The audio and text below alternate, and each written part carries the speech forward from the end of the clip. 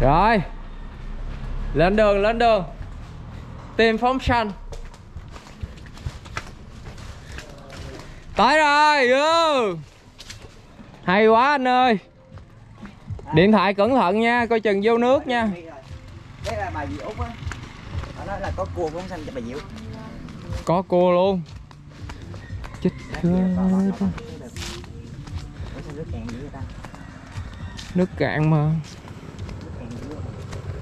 Nhưng mà mình đi Mình đi vậy ở nhà người ta bán hết cua rồi Mình để mai phóng được không? Anh tính mai phóng được không?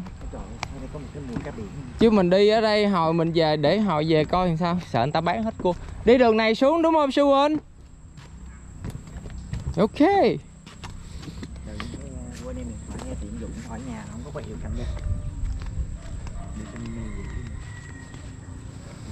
Đi đường nào ta? Thấy? Dạ Đường nào cũng lắm sình đúng không anh?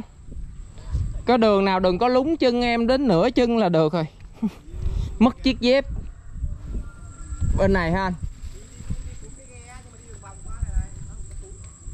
Dạ Đi xuống cái ghe mà đi đường vòng qua đây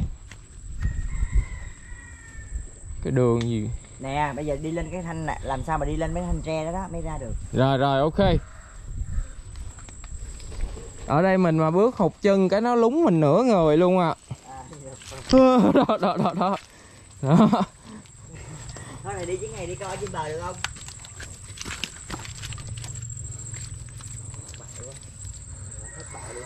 Nước đi mình nhanh nhanh nước cạn nó mới ghê chứ.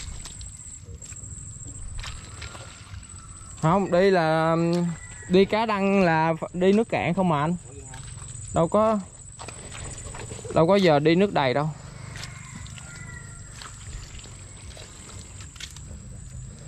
Đó. Phóng sanh cũng là một cái nghiệp nha quý vị. Cái nghiệp gian khổ để đổi lấy mạng chúng sanh. Muốn cứu mạng chúng sanh chân thật đâu phải dễ. Trời ơi.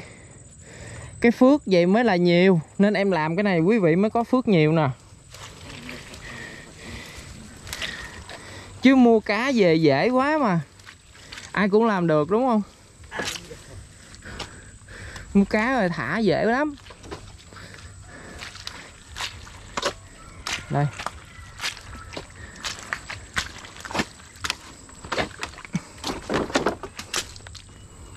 Cái anh này, anh đi bắt cá, anh cũng cực lắm chứ bộ.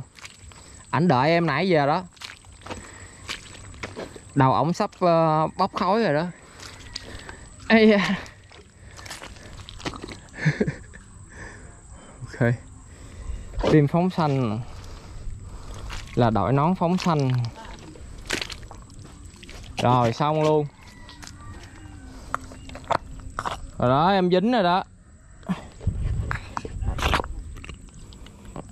Cái dép em dính anh chỉ đường em hay quá, em lúng luôn rồi đại ca ơi.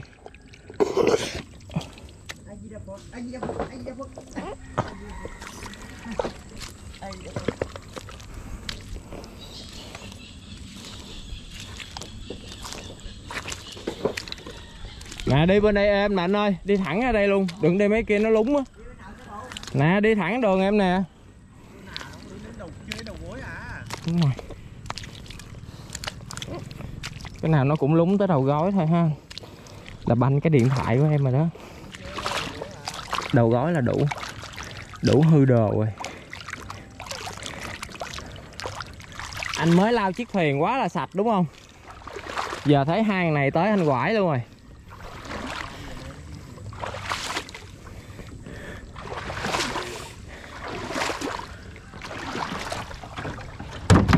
Đếm sạch sạch sạch đã. Mm.